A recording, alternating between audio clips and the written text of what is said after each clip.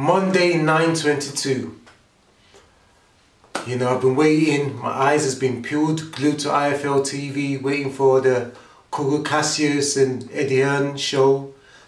Mainly to talk about Fury against Dillian Whyte, the purse bids, um, his, his thoughts of, of Matchroom's bid and BT's bid, Frank Warren winning the bid, and we've got nothing. We've got nothing.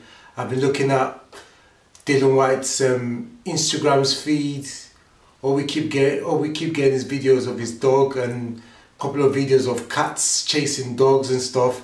Nothing about the fight, which is quite odd. There's something going on in the background. The way I see it, until I hear anything from a positive news from Eddie Hearn or Dillian Whyte, this fight is not going on. It's not going on. Dillian Whyte is clearly not happy with um, the 20% he's being offered. I mean, if you look at the money, it's still a big amount, big amount of money for a guy that has been waiting for um, the world title for this long. I mean, he's probably Dillian Whyte is probably making more money than what Usyk made against Anthony Joshua. But don't quote me on this, but I'm just going on by a wild guess. It probably is. You know, so, I mean, it's not down to me to try and like, you know, say he should take the money or what have you, but he's still a lot of money and it's for the world title. I mean, Dillian Whyte and all his fans have all been talking about you know, he's been waiting, he needs his shots, he deserves his shot. There's the shot, there's, there's, there's the fight now. Let's fight.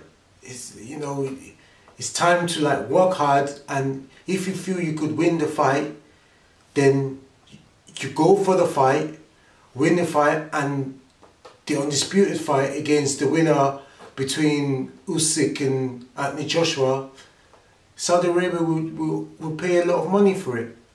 We're talking about hundreds of millions. If not nine figures, eight figures. You know, Gener generational wealth. And you get to fight for the world title that you've been waiting for. You know, so I don't know what's going on. I mean, I've, I have a feeling is they're probably still waiting out on their arbitration. Sorry if I'm not pronouncing it properly. Maybe they're trying to get see if they could get a better split, and you know, I don't know what's going on with that. I mean, last week Eddie Hearn was saying something about Fury when an interim interim fight before he fought Usyk, and he went to try he went to have a fight before he fought Usyk, and he's docking Usyk, and now Frank Warren is coming out saying Joshua wanted an extra five million dollars all these promoters are going back and forth, like trying to change. I don't know who to believe. They might both be right. I mean, Fury's fighting. He's still gonna get the fight before he he fights Usyk if he gets past Dillian Whyte. So he might even see Dillian Whyte as a as a um, you know tune-up fight. He did say it before. He, he, he said it before last year. So Maybe he sees he sees that, but you know we need to we need to find out who do you think is who's going to win that fight. For me, for me, I just feel Fury is obviously the favourite. It all depends on what Fury turns up. But as we say, Dillian Whyte's got the power to knock him out. But then again, Tyson Fury's got 100% record of getting back up when he gets knocked down. 100% record. You know, so, you know, but in heavyweight boxing, you just one punch away from a disaster. But would you want to see the fight? I need to see the fight. We need to get this fight going so we could see who the undisputed is. If not, what's going on? I just think money, money is just ruining the heavy heavyweight division. It's just greed. The whole division is just full of greed step aside days, 50 million days, or I didn't sign any contracts, or blah, blah, blah. It's just, oh, let's just get over done with. If not, If they're not gonna fight each other, then just let us know. It's not wasting their time, so we could fo focus on other things. We could fo focus on Katie Taylor against Serrano. We could focus on Shakur against um, Valdez. Apparently, Valdez still hasn't signed a contract. Don't know what's going on there. Maybe he's uh, trying to get rid of that T before he signs the contract. oh, I'm a joke. Who knows what's going on with all these athletes? But um, hopefully we hear some more news from Dillian Whyte and um, Eddie at some point tomorrow. Hopefully, maybe. You know the thing about Eddie you don't see him till he has something to say. So right now he's got nothing to say till he has something to say, or whatever they're trying to work with the arbitrations. We just need to know. If not, we keep it moving. But the purse bid, 41 mil, that's a lot of money. I, I, I think that's an investment.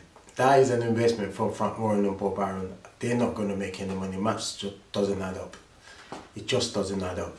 I mean, I thought about it. Like, I mean, the gate from let's say Wembley would be like five million revenue. Um, average price. I mean, if they sold it at thirty, if they if this the pay per view is like thirty pounds, thirty pounds times a million, that's thirty million. That's thirty million pounds. How's that going to cover? You know, I know there's the um, the international rights fee, the sponsorship of the night, which is about a mil. It just the maths doesn't add up for them to make, but they had to do that. They had to do that. They had to make sure DAZN doesn't embarrass them by beating them. That's the main reason. But if there's a problem, why would DAZN go for the bid then? If they weren't serious, why would they go for the bid? Now, Hearn's got nothing to say about it, but they went for the bid. Okati signing out.